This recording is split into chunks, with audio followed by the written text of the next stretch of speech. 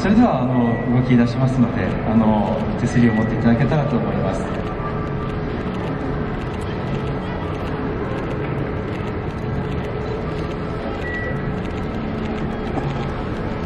では私から開発の思いについてあのお話をさせていただきます。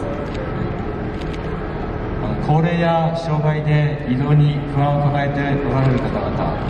はですねあの家族に迷惑をかけないという思いからあの外出を少し控えられる傾向があられたりします。でそういったあの移動に対する不安を、えー我々は少しでもあの解消して差し上げてそして、えー大切なあのご家族お子様であるとかお孫さんとですねあの一緒に外出を楽しんでいただく。そういった思いであの作ったベンチ型の車両ということになります。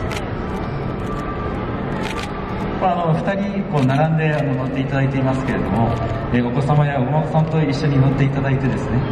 えそしてあの一緒に同じ方向を見て例えばあの山が色づいたねとか桜が咲いたねとか季節季節の移ろいなどもですね楽しみながら